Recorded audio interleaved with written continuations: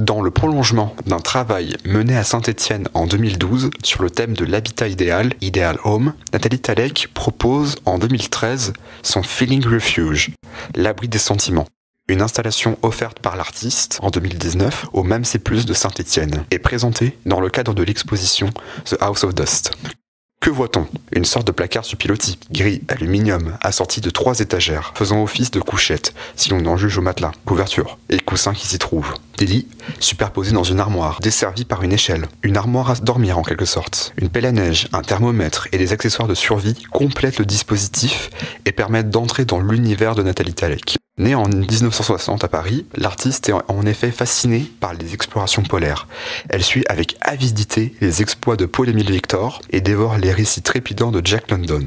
Elle conçoit dès lors la figure de l'artiste comme un double rivet de l'explorateur polaire. Car pour elle, les deux abordent des territoires inconnus et parfois hostiles, les poussant à se dépasser. Nathalie Talek avoue d'ailleurs appréhender sa pratique artistique comme un récit d'aventure où le froid et la neige tiennent une place importante.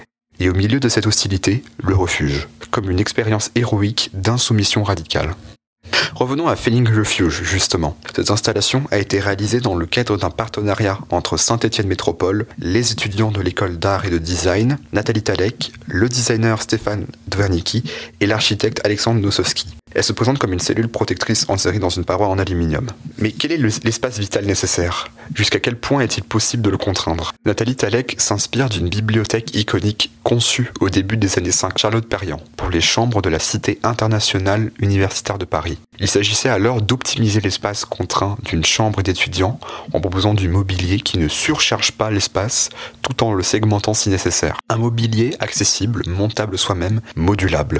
Cette bibliothèque prolongeait la réflexion sur l'espace minimum engagé par Perriand et le Corbusier dès l'entre-deux-guerres, avec la cellule de 14 mètres carrés notamment. Dans le contexte de la reconstruction d'après 1945, cette réflexion prit corps avec les cités radieuses de Marseille, Nantes ou Firminy, véritable utopie réalisée.